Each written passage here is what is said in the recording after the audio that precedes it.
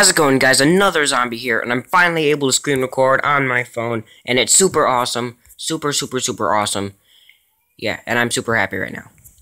And, uh, yeah, I had to root my phone to get this done, and I know how hard it is sometimes to root your device. Uh, yeah, I wanted to thank Silent Warrior 154 for uploading a video on how to do this. And, yeah, uh, this is how to root your LG L34C. I'm not sure if this actually works for every phone tablet out there, but uh, it might, so give it a try. Uh, what you want to do is uh, go into four Shared and then install Taoroot v3, which is what I have right here. And I know what you're thinking, you're like, well, Taoroot doesn't work. Well, that's because you're not doing it right.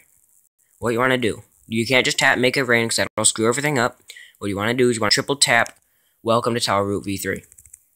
And then these numbers should pop up, unevenly spaced.